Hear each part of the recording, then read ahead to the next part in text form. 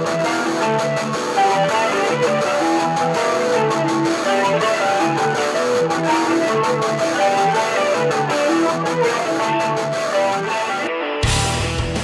Bucuroși că în sfârșit se pot deplasa pe două roți, peste 100 de motocicliști s-au întâlnit la satul mare la acest sfârșit de săptămână pentru a-și exersa îndemânarea. În ajutor le-au venit trei instructori din Ungaria, foști polițiști, care le-au pregătit un traseu cu obstacole tocmai pentru a scoate din hibernare atât motoarele cât și piloții. Este pentru prima dată când maghiarii se află în România și îi sfătuiesc pe bikerii de aici.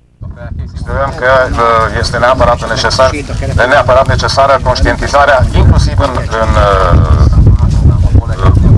conștiința motocicliștilor, situațiile de trafic care pot să devină periculoase. Lecția de îndemânare care simula situații cu care bikerii s-ar putea confrunta în circulație a fost una binevenită, după cum au declarat chiar motocicliștii. Este foarte important uh, din punctul nostru a motocicliștilor pentru că motoarele și inclusiv tu ca motorist sau șofer sau pilot, uh, iarna sezonul de iarnă stai și motorul stă foarte mult, așa că trebuie să fii pregătit uh, și tu uh, intelectual, să spun așa, pentru pericolele care ar, ar putea să urmeze. Întâlnirea a avut și scopul de a-i responsabiliza pe motocicliști, dar și de a atrage atenția șoferilor că există și alți participanți la trafic, chiar dacă aceștia sunt doar pe două roți.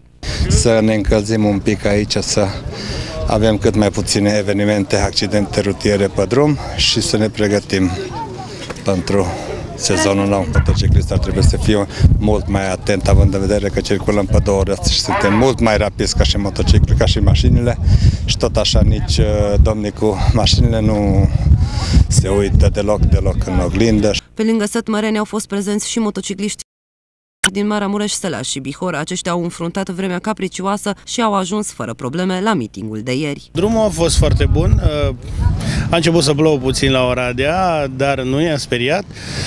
Uh, am venit foarte bine și am venit din acest spirit care ne conduce două roți, ne plac motoarele, ne place să fim alături de frații noștri din satul mare. Alături de motocicliști au fost și polițiștii setmăreni care le-au atras atenția asupra faptului că viteza este una din principalele motive pentru care motocicliștii ajung să fie implicați în accidente rutiere. În țara vecină, statistica e și mai îngrijorătoare. Viteza, viteza în primul rând este principala cauză generatoare de accidente. În Ungaria, de exemplu, accidentele mortale în, prim, în, în procentul de accidente mortale în care sunt implicați motocicliștii reprezintă 4% din totalul accidentelor, iar uh, accidentele cu victime, nu neapărat uh, mortale, reprezintă 17%. După exerciții, motocicliștii au pornit într-un tur demonstrativ prin oraș.